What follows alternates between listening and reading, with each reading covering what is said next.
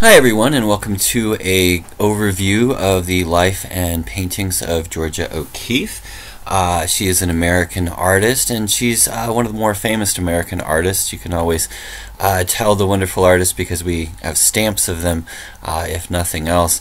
Uh, but again, when we look at what, what she's done, uh, she's very interesting because she, she's kind of this uh, area, the, the transition into kind of modern art that American art makes, and, and kind of shows the transition from uh, a lot of the European thinking uh, forward. She was born in 1887 in Sun Prairie, Wisconsin.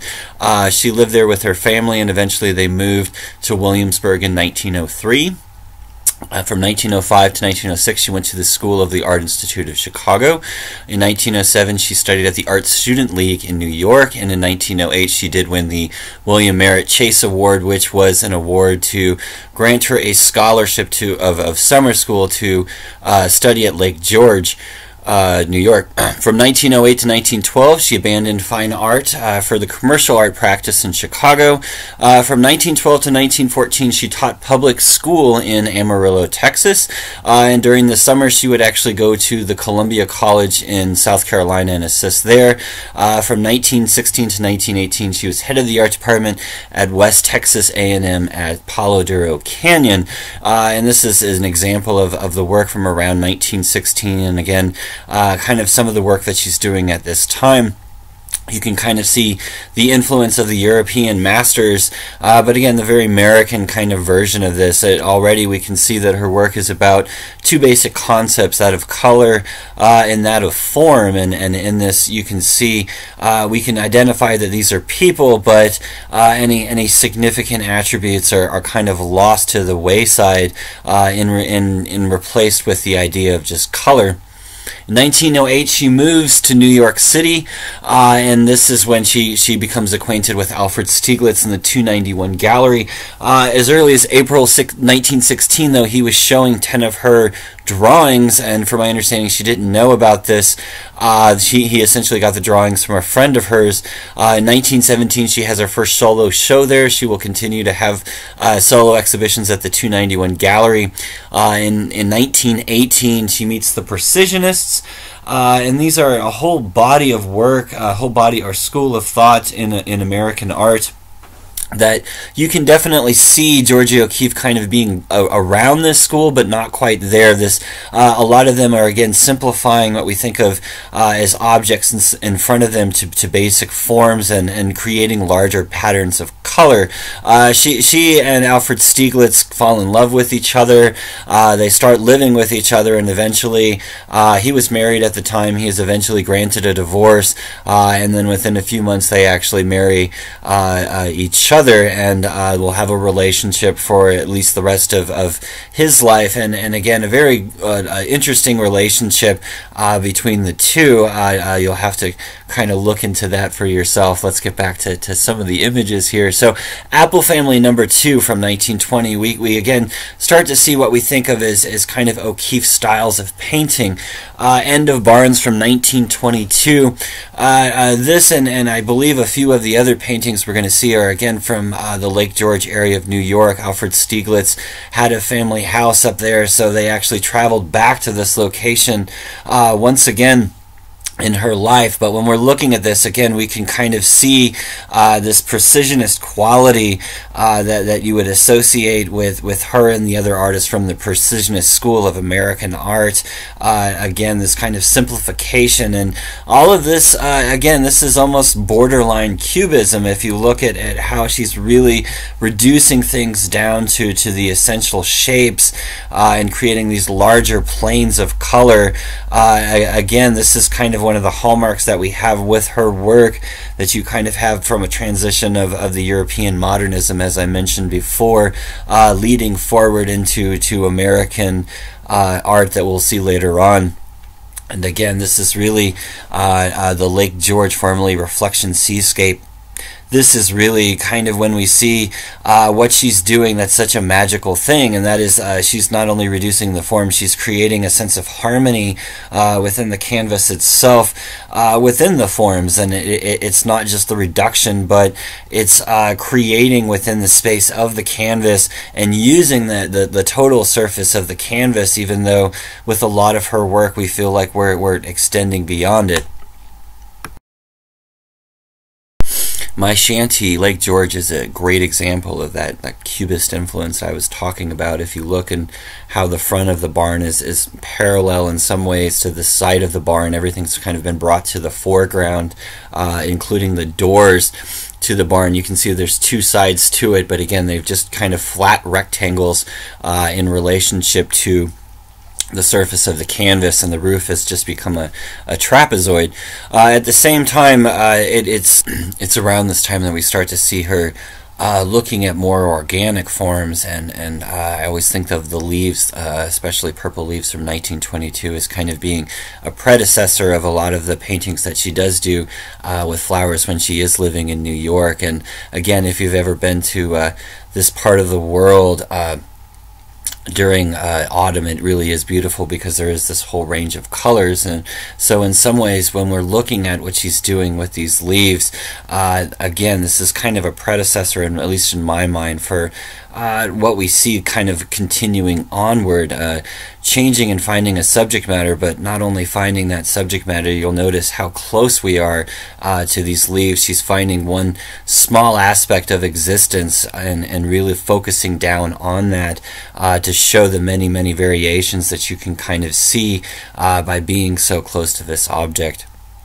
And where there are leaves, there are there are, of course, trees, and this is just an interesting comparison autumn trees and chestnut tree, the maple.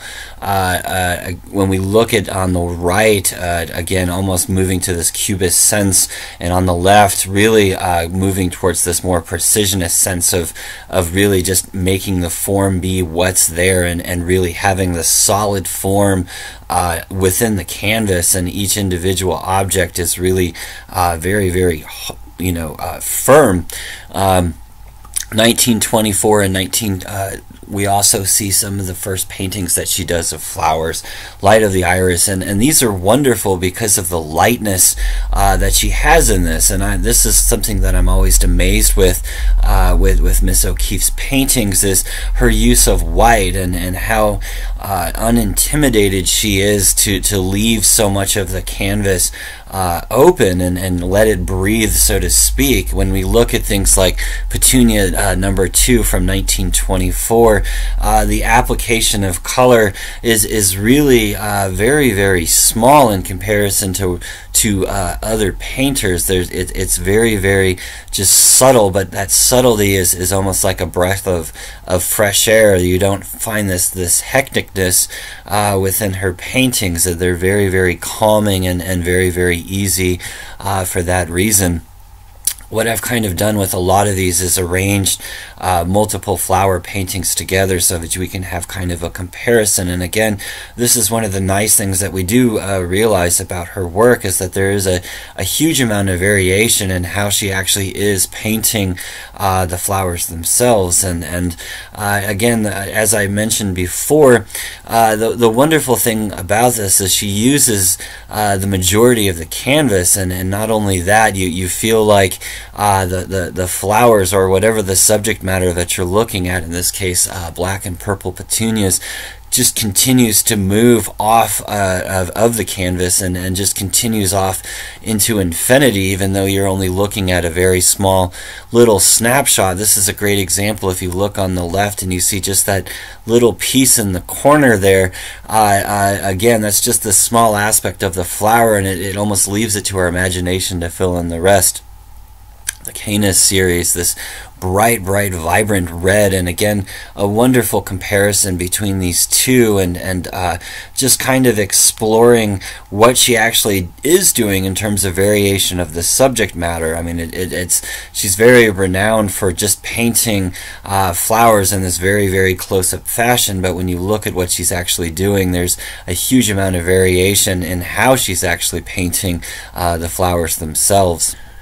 And although she is famous for her flower painting. Some of the other paintings she did in New York, especially of New York from this period, uh, are, are very interesting. It's this perspective of looking up and, and it's so fascinating to me how she actually uses the building structures uh, to to kind of create almost this window where the you, you you see the sky, but the sky is is kind of dwarfed underneath these huge constructions. And again, if you've ever been in one of the larger cities and looked up and uh, when you're in the downtown area you kind of do get this experience. Uh, the, the New York Radiator building from 1927 is one of her more famous paintings and, and very again the simplification and, and uh, the forms themselves really do become kind of flattened out. It doesn't really it's almost like you're removing the sense of depth and, and letting the viewer uh, apply that kind of concept uh, for themselves Oriental Poppies from 1928.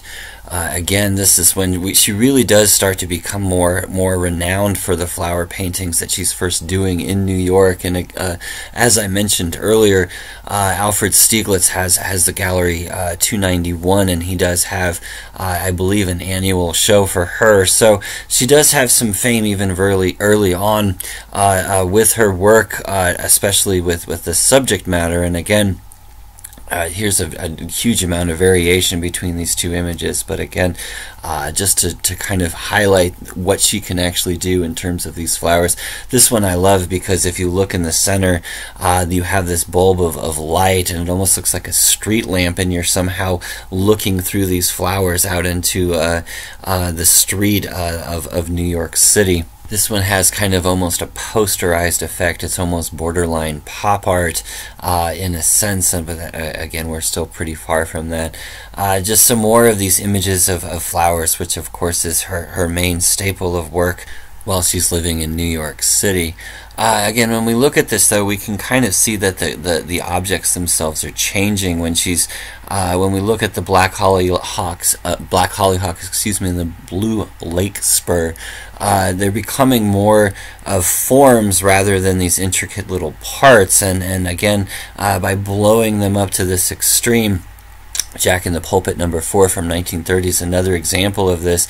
Uh, it's really pushing the object even away from being a flower uh, and into being something else. Again, this is almost uh, becoming this collection of objects where uh, if you if you remove the title uh, and and you just uh, and you didn't know anything about the artist and you just looked at this, one would even have trouble necessarily approaching this as being a flower, but in 1929, she travels to Taos, New Mexico, and uh, for the next 20 years or so, she kind of moves back and forth and spends at least part of her time in New Mexico. She first visits the area uh, that we think of as, uh, or call Ghost Ranch in 1934 and, and moves there in 1940.